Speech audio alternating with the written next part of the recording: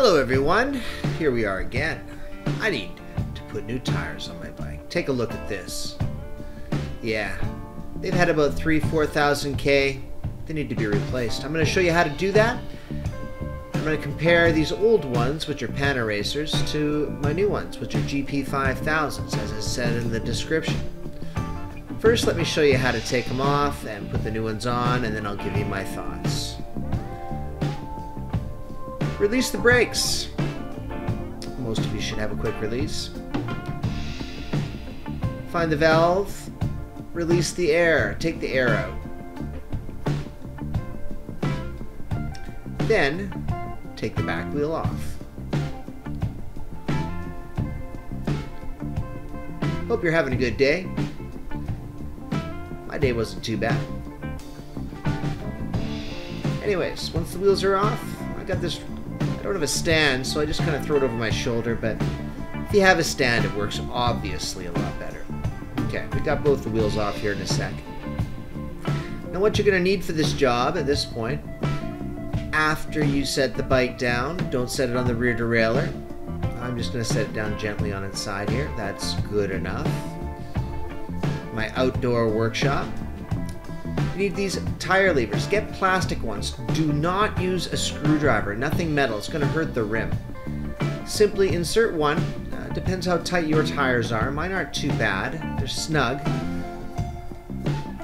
Simply put one in and flip the bead out over the rim. Now, as you can see here, mine are not too bad. I can flip it in and this is a cool little trick I've learned. Just simply slide it down, slide it around. Then you can work off the other side of the bead with your hands and presto, tire and tube come off in once. Now, if your tires are a little tighter, you may have to use two levers or maybe even three, as you can see here as an example, uh, to pry it off, to break the first bead. They call that a bead, where it seats on the tire. Okay, you get your tires off. Now, here's where we're going to put on my new tubes. Now, pay attention to the stem length. They come in different stem lengths. These are good for my tires. Ask your bike shop if you're not sure. Here's my GP5000s. I'm going to take these out and put them on. Why did I choose this tire? Well, bicycle rolling resistance. Here's a comparison. You can go to this place on the intranet if you wish. Well, they're substantially lighter, 26 grams per tire. That's 50 in total. That's quite a bit rotation weight. And of course, uh, they also have less watts of rolling resistance, quite a bit. So I was excited to use these tires. They've got lots of, of good reviews. Now after you take them out, kind of roll around and take make sure all the folds are out the best you can.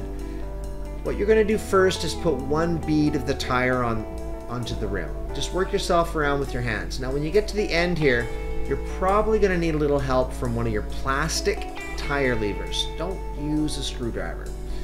The metal will damage the rim. Simply put it underneath and flip it over. Once you got one bead all around the tire, put the valve in first and a little trick I've learned is you can push it up a little bit to make sure it's not pinching the rim. And then here, just take your time, might take a little bit of time, uh, working the second bead onto the rim with the tube. Use your fingers as much as you can. That way you won't pinch the tube between the rim and the tire. Again, the last little part's always the hardest. This is where you're going to have to use your levers. Use your hands as much as possible. Work it up to the end, always making sure that the tube isn't getting pinched, and flip it on. One last thing. Do this.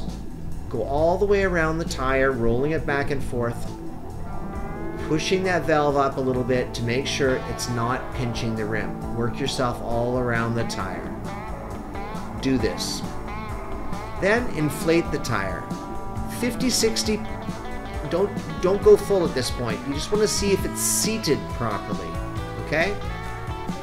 So after you get about 50, 60 pounds in, give it a rotate. Make sure that there's no bumps, it's seated properly. If, if there is, uh, deflate and uh, try it again. And as you can see here, mine worked perfectly. Excellent. So, The only thing to do is uh, put it back on the bike. When you're putting the rear wheel on, you uh, can simply pull back the derailleur with your hand as you see me doing here. I don't have a bike stand, but hey, this works. Take your time. That's a pretty freaky tune I just played. And the front wheel.